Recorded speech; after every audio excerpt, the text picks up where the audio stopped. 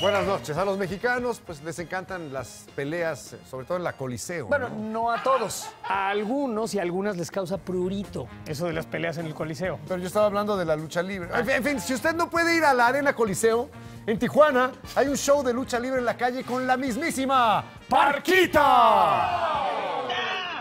Fíjense, ahí está la parquita. ¿Qué hubo? ¡Eso es todo! Tremenda la Parquita tijuanense. ¡Sí! ¡Vámonos! La hurracarrana invertida. La doble Nelson. La uquiguasa. Bueno, no sé ni ¿No qué es la chupiguasa? Esa es otra. Ah, Míralo. ¿Qué Hecho, con bailecito y todo.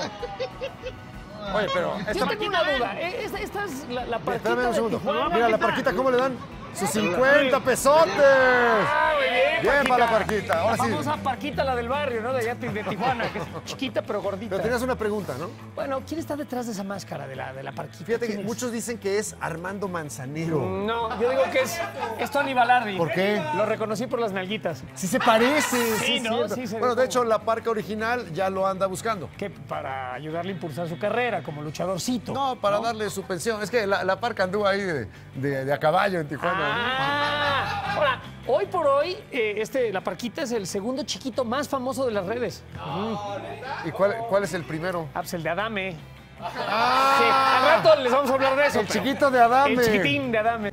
Imagen Noticias con Ciro Gómez Leiva, lunes a viernes 10.30 pm.